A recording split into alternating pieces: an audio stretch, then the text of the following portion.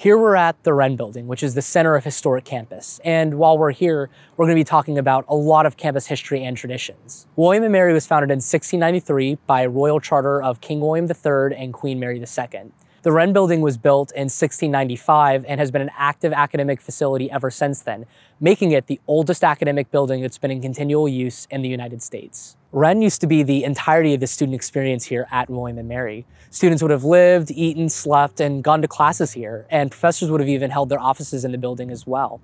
Today, students are often excited and honored to be able to take classes within the building, some going so far as to make it part of their university bucket list. Historic campus is also home to two other buildings. The President's House, where our current president, Katherine Rowe, lives, and the Brafferton, which is home to the offices of the president and the provost.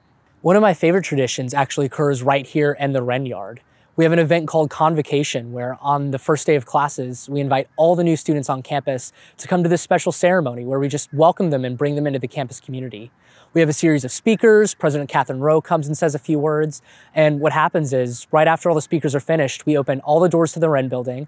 All the new students start standing up and proceeding through Wren, and they're greeted by the entire campus community. The minute you walk out of the building, you hear the sounds of the pep band, and you just see waves of upperclassmen, faculty, and staff welcoming you and bringing you into campus. And it's honestly one of the most welcoming feelings I've ever experienced.